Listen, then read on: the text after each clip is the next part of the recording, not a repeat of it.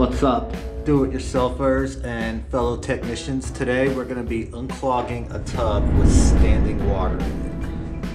As you can see, there's a little bit of standing water.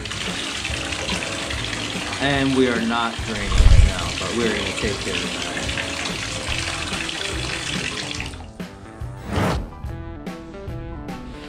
The way we're gonna unclog this today is with the plunger. But before we start plunging, we need to remove this overflow plate because if you plunge with the overflow plate in place, the air just comes back up and it creates no pressure on your clog. So we're just gonna remove this.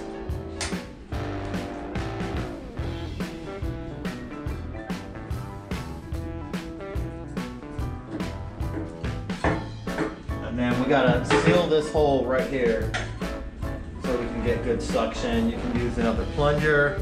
Me, I'm just gonna use a flapper.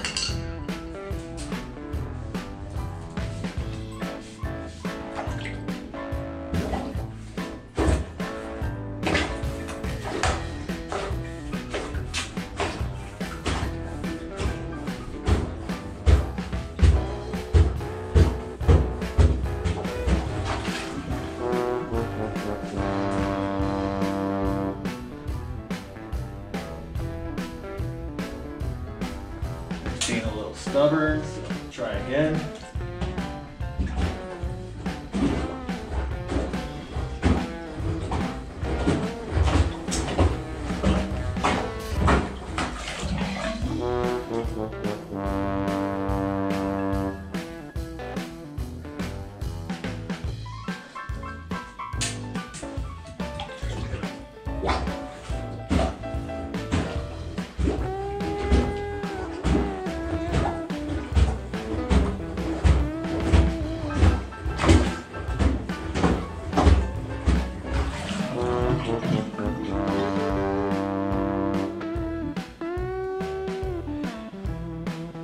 See the yeah.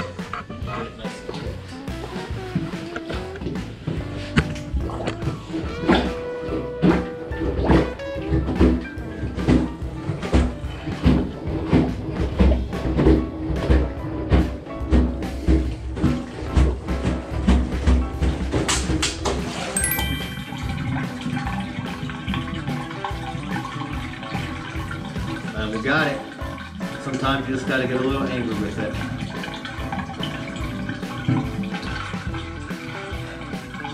Tasks like these can sometimes be draining.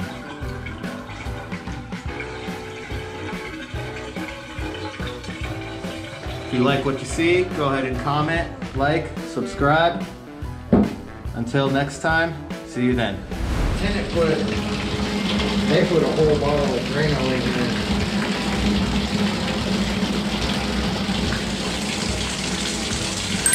To four thirty.